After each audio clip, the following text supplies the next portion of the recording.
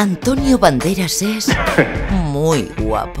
Sugerente. Un artista con talento. Esto es expresionismo puro. Con una vida divertida y diferente. ¿La encuentras interesante? Y Manol Arias es Soy Ramón Salvatierra, ingeniero y empresario constructor. muy guapo.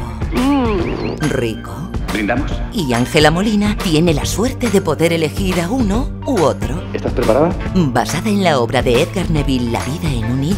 ¿Esta historia es de verdad o, o la está usted inventando? Una mujer bajo la lluvia. En 8, Madrid. Nothing satisfies me.